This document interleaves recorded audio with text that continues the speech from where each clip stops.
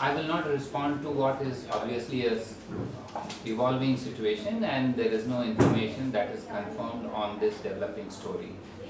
Therefore, I will only focus on what is India's uh, approach to the issues and the situation in Syria.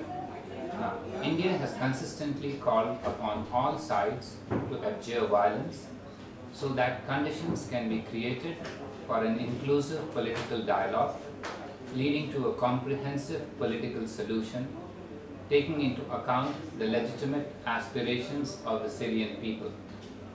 There can be no military solution to this conflict. We continue to support the proposed international conference on Syria, that is Geneva II, being the best prospect for a political solution for bringing the Syrian government and the opposition to the negotiating table. On the use of chemical weapons in Syria, India has consistently supported the complete destruction and elimination of chemical weapons worldwide. The international legal norm against the use of chemical weapons anywhere and by anyone should not be breached. However, we will prefer to await the full results of the UN inspection. Thank you.